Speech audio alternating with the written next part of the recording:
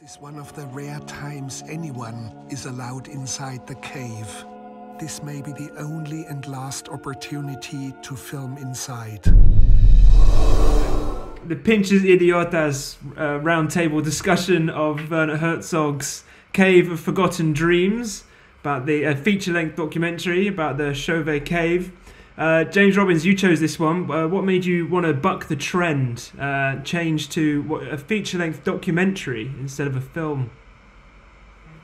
Um, what maybe I want to do? I, I, I've mainly been looking at quite a lot of Werner Herzog's uh, documentaries because I've not seen any of them, and I know he is pretty much like the self-acclaimed, like not self-acclaimed, but king of the documentary um, films, and I've not seen any of them. And so there's a couple which had entered into my watch list at the time, and so I just picked out one, and that was the the one which I've felt most in the mood for. But I, I just think it gives everyone listening a little different to do, and actually probably an interesting first question is not necessarily versus a film, but what do you think makes a good feature length documentary film? Mm. What attributes does it have to have? I think, I think content and, and, and, topic is, is one thing, but it's more the style of filmmaking. Like that, that style of filmmaking was very much more akin to a, a, a cinema piece.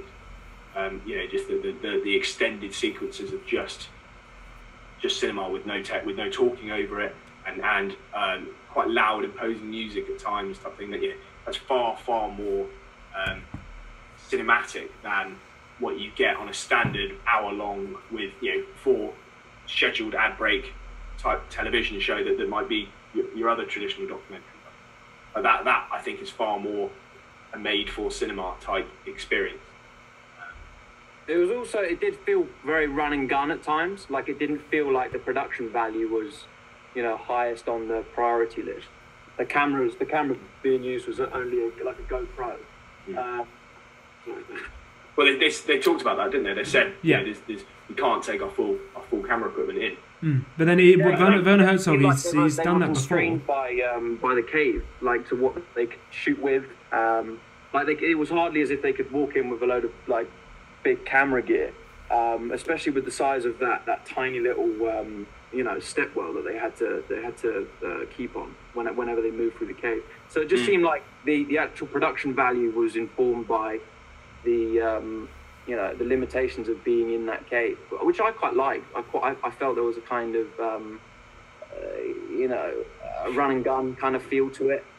And there was, as you say, Jem, there was interesting sequences, cinematic sequences towards the end, where you just had kind of beautiful music playing to like to the, the, the cave being lit up mm. with like interesting light displays, like moving through the cave, and that for me was was fun because you could just sit with whatever had just been discussed, like in like the previous segment, um, and just kind of get immersed into, you know, the world of the cave, the feel of the cave.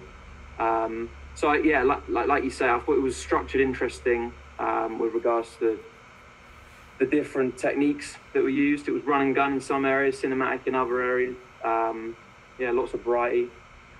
I thought it was it was good. I thought it was fun. It, they also went, went they went fully in on um, a lot of the interpretations. Now a lot of that was was bringing people in who were talking about their interpretation of it, which I thought was great. But then a lot of the voiceover parts, he was sort of putting his version of interpretation, sometimes to ridiculous extent, on the the synonyms and uh, uh you know, and, and what every single thing meant. Um, and I thought some of that was was really good. Some of it was a little far stretched. Um, trying to remember exactly what what what one I can remember, but it was it was a week ago. I probably would have been able to tell you on Monday night. Um, yeah.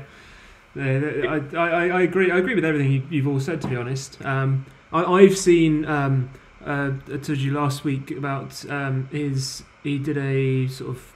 It wasn't a documentary. It was a film, but he it, it called Family Romance, which was set in uh, I think it was Japan or uh, Japan or South Korea. Forgive me, I can't remember which one. But basically, is about uh, a, a, real system in Japan where you can pay people to be your relatives, like for the day or whatever. Um, and he, it's all filmed on an iPhone as well. So the, the, this use of amateur, uh, this this amateur camera work is something that he's clearly he's done a few times. Um, I don't know if any of you've seen uh, much more of his work anyway, but um, this was certainly one that played towards uh, you know the needs. It needed to be on those cameras because of whatever was inside. But the subject matter itself, I thought was astonishing. I thought it was uh, it's really really fascinating. When you talk about yeah. a documentary needing to have good, uh, you know, good good content. I mean, geez, this was uh, this was full of it. So it was. I'm, I, I'm, I really I'm not even someone who's huge on about like you know, uh, caves and um, the history that's hidden inside them about you know from thirty thousand years ago and stuff like that. But I mean, this like this really showed like how like the age of man. Like this, this showing stuff, it puts it into reality. How long ago humans was walking the earth, and so this was 20, 28,000 years ago or something like that. And yeah, it's, it's like a different planet. It's like a different world. But even there, even so, like this has been so well preserved. I thought the subject matter itself was uh, genuinely astonishing. I, have never heard cave, of it about it before either. Cave, um, like one of the most prolifically drawn or painted caves in the world, like as as far discovered. It, it, no, it was, it's just double the age of anything else because of the way it was, yeah. because of the way it was sealed. Generally speaking, because because there was, as they explained at the start, there was a landslide that sealed it off. And normally, if a cave is exposed, it would continue to be exposed, and therefore air would be going through it, water would be going through it, and and the, the paintings wouldn't be anywhere near as pristine. You might get like outlines of them, and certainly at that that old, they'd be gone completely. Yeah. Um, so because it was sealed, and then someone broke through, as they uh, as they said, and found them, um, and they were you know they looked like they'd been drawn yesterday. Um, mm. I, I, think just what you were saying, guy, like the, the, way of making a documentary in that style was was really nice. In, in, in addition to the fact that, as they said, the cave is really susceptible to environmental changes, and so they're sealing. You know, they're, they're potentially the last film crew that could go in there and so what they've done is they've said, right, we've got to pay homage to this. You know, there, there has to be amazing descriptions and um, film work of the, the, these artworks. Um, let's really do it justice, and I, I, think they really did do it justice. Um, you know, whereas if you if you let a you know, Channel Five crew in, no disrespect to, mm. to, to, to, them, but you know, if it was made for Sunday TV with four adverts, it wouldn't have quite yeah. been the same thing. Yeah, well, I think Werner Herzog's a good, a, a, great director to do that as well. To be honest, because he's he, he mm. sort of he he he, may, he has he makes projects quite cheaply a lot of the time, but he's he, he cares a lot more about the quality of the content rather than you know what it actually looks like. So and he has a fan base that spe- specifically uh, like to invest in that kind of filmmaking. It's more about what you're watching as opposed to yeah. what it looks like that you're watching. Um, so you know he, he's he's obviously he's clearly someone who's got a passion for what he's you know, he, he won't go and create a, a, documentary about something or a film about something if he's not really passionate about it, and you can see that straight away. It's strange because even with the with the, the different language, obviously English isn't his first language, but he's still such an amazing linguist. You know, the, the, the narration, you, but you can imagine him talking like that. Not that yeah it didn't it didn't seem scripted. You can just imagine him talking like that without ha- having written all of it down uh, he's, got, he's got a brilliant grasp of the english language. Yeah. What, did you, what about you james? You, you, sorry we, have all been talking. What about you? you your choice no no it's just I, i'm interested in kind of picking little bits out there because to my original question is like what do you think actually makes a good documentary film. And Jem, you've touched upon maybe some differences between documentary film that you'd have versus something a documentary that you'd have for you know hour, half hour length that you see on TV. And this is you know very much more it has the time to be able to fully explore the subject in more detail and also have those slightly more immersive elements where you're literally just showing people the subject matter without actually having the additional narration on top of it which i think you know that's that's part of it what i feel makes a documentary film good. So there's that you know educational you know, interest point of view the immersion. And that to some extent then i think takes precedent over the production value which you probably find us critiquing more heavily in a normal in a normal um, film so I, I, I, it, I, was it was just interesting to see how I was so much more forgiving given that this was the format. It was going to be a documentary film for that production value to be lower. And I, guess to, to your point, um, I can't remember it was Guy or Jem, you, you're talking about the actual significance of the discovery itself and how they actually brought that to life. And I guess for me, there, there was times when they were showing you the kind of primitive technology that they would be using to be able to make the um, paintings themselves, the, their method of hunting, etc.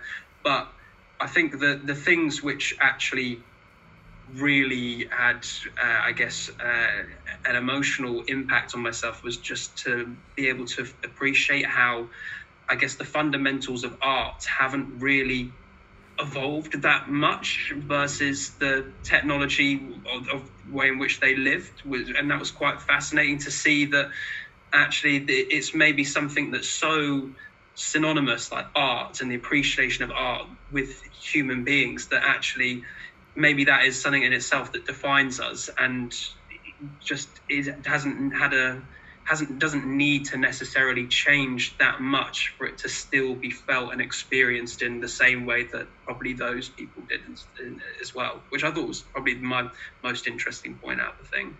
It's nice, very very nicely put. I, I, the one thing that stood out for me the most out of all of it was the sound editing. I thought that was pretty whack. Like they, uh, it I, went to town on it. yeah, like it was. Um, it was a lot. it played a huge part on all of it, even down to the what eventually was what you said, Liam, in terms of it's got to be five or six minutes of um, just you know slow tracking, panning shots of the of the uh, drawings on the wall and things like that. After all the talking's done, that's what you are left with for quite a long time.